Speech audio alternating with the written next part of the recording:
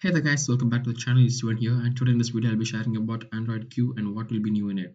This is not a developer preview because Google usually lists the developer preview of the new Android by March 2019.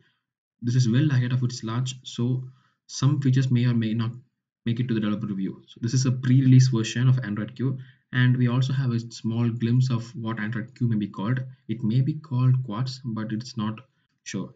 So with this pre-release what we can get is that can get some idea about how Q will be like and what features it will bring. So without further ado, let's get into the video.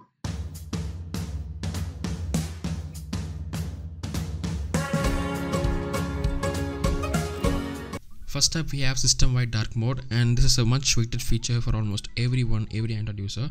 And just before this, a month ago I, I saw a thread in XDA forums where Google confirmed that using dark mode will increase battery life and now uh, implementing dark mode in Android Q is a very good move.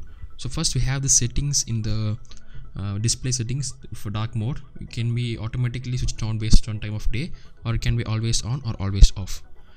Then we have this settings app which is dark themed and if you have been flashing custom ROMs you must be familiar with this dark themed settings app. And then this is the dock, this is the apps dock with the dark theme applied and as we move on this is the battery settings app but uh, as this is a pre-release we can't be sure how the battery life has improved but this is how it will look like.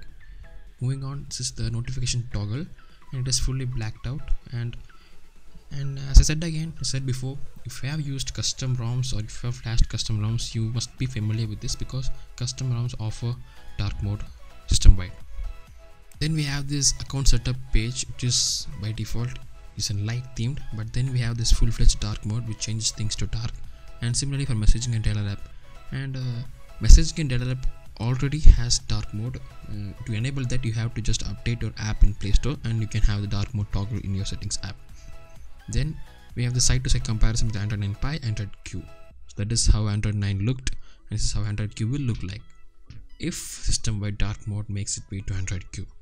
And then we have this settings app in android 9 and android q so it's a really good move for google to go into full dark. Which will improve the battery life and it will reduce the stress on our eyes.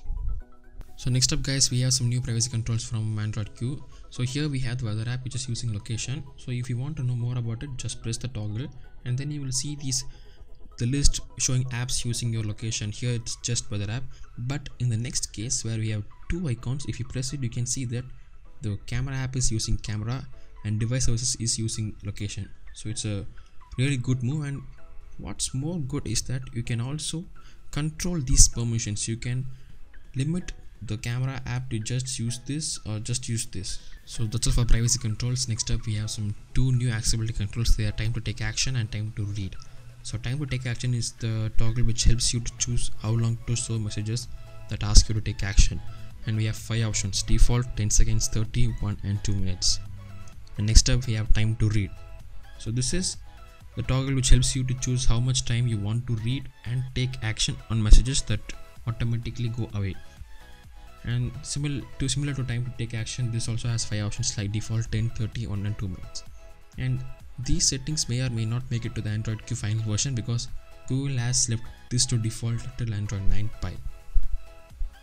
And finally guys we have two miscellaneous add-ons. And the first one is shown in this picture. And as you can see there's a new toggle called sensors off.